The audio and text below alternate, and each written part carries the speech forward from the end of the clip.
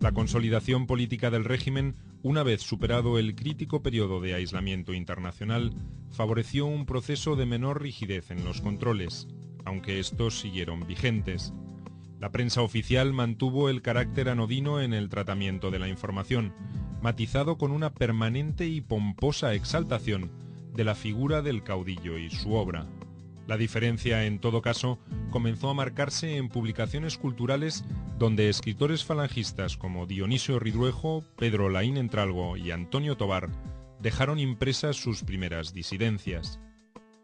La Iglesia también presionó durante la década del 50 para eliminar restricciones que, a su juicio, impedían la adecuada difusión y circulación de sus medios de prensa de contenido doctrinario.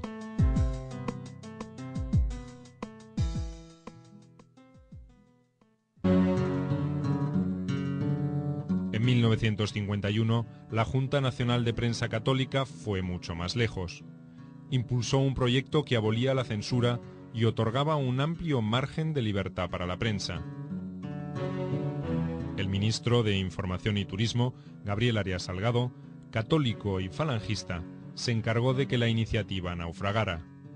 Arias Salgado era contrario a cualquier cambio extremo de lo que denominaba la doctrina española de la información. Esa doctrina no era otra cosa que un leve retoque cosmético a las restricciones de la ley de 1938 y una clara justificación de la censura, aunque con menos vehemencia que en el pasado.